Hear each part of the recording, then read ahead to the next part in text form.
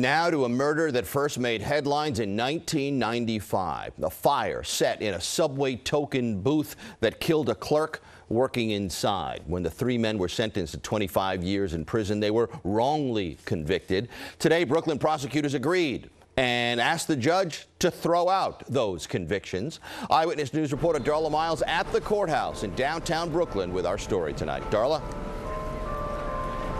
Joe, there's no way to really describe the magnitude of sitting in jail for 27 years to life, knowing that you did absolutely nothing wrong. In this case, Vincent Ellerbe was paroled two years ago and has been working as a chef. But for James Irons and Thomas Malik, they have not walked freely on the streets of Brooklyn since they were 18 years old. The way they did what they did, they was just looking for a conviction. They didn't care who it was. They knew the truth. It's the truth they've been saying all along. Vincent Ellerbe, James Irons, and Thomas Malik professing their innocence in the murder of Harry Kaufman. I'm very sorry for the pain that Mr. Harris have, Mr. Harry Kaufman suffered, but but I was not there. The Brooklyn DA's office knew that.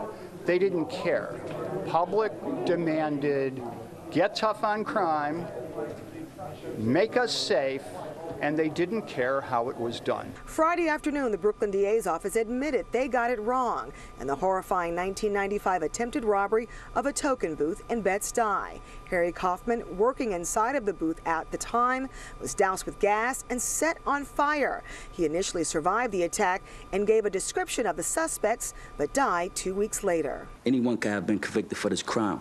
After all, I'm not six feet, two inches, and 220 pounds. Tommy, is this too little, too late? Definitely too little too late, but it, it, everything takes time. You know, I'm just was happy that I was able to stand strong to endure, you know, this journey, but it was a rough journey. The case was revisited by the Conviction Review Unit, which found the confessions were false and coerced, alleged misconduct of the detectives, and the evidence, some knew, some withheld. What happened to us can never be It ain't enough money in the world that can fix it.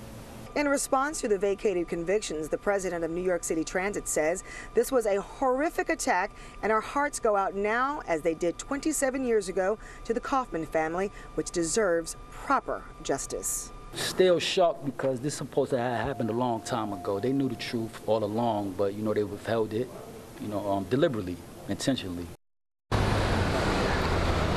Now, a big part of this exoneration was the detective who worked at Louis Scarcella.